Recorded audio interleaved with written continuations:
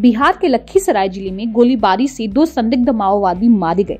बिहार के लखीसराय ज़िले के वन क्षेत्र में बुधवार को सुरक्षा बलों के साथ मुठभेड़ में दो संदिग्ध माओवादी मारे गए। माओवादी विरोधी अभियान के दौरान मुठभेड़ शुरू हो गई थी, जिसे पुलिस को विद्रोहियों की एक बैठक के बारे में सूचना मिलने के बाद शुरू किया गया था। पुलिस ने बताया कि दोनों में से एक वर्दी में था।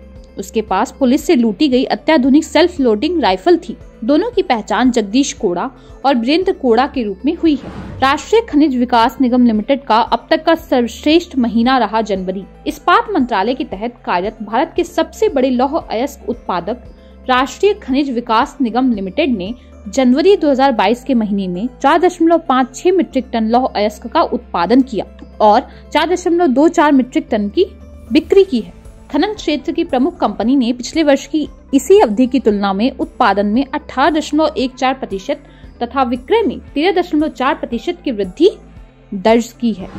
मायावती ने यूपी चुनाव के लिए की पहली रैली। आगरा में मायावती ने बीजेपी के साथ साथ कांग्रेस और सपा को भी निशाने पर लिया। इस रैली में उन्होंने इन पार्टियों पर जमकर हल्ला बोला। गाड़ी की हेडलाइट जलाकर रात आठ बजे तक ली गई इंटर की परीक्षा। मोतिहारी के महाराजा हरेंद्र किशोर कॉलेज में पुलिस की गाड़ी से लाइट जलाई गई, तब जाकर छात्रों ने एग्ज़ाम दिया, क्योंकि कॉलेज में लाइट नहीं थी।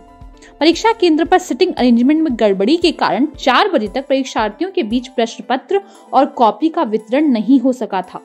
इस घटना का वीडियो सोशल मीडिया पर जमकर वायरल हो रहा है। पहले नाम पर विवाद, अब तिरंगे के रंग में रंग दिया गया आंध्र प्रदेश का जिन्ना टावर। आंध्र प्रदेश के गुंटूर में जिन्ना टावर को लेकर विवाद थमने का नाम नहीं ले रहा। जिस टावर के नाम को लेकर पहले से विवाद जारी है, अब उसे तिरंगे के रंग में रंग दिया गया है और कल वहाँ पर ध्वजारोहण करने की तैयारी है। ये ऐलान गुंटूर ईस्ट के विधायक मोहम्मद मुस्तफ़ा ने किया है। दरअसल लंबे समय से जिन्ना टावर को लेकर विवाद चल रहा था बीजेपी ने मांग की थी कि इस टावर का नाम पूर्व राष्ट्रपति एपीजे अब्दुल कलाम के नाम पर होना चाहिए।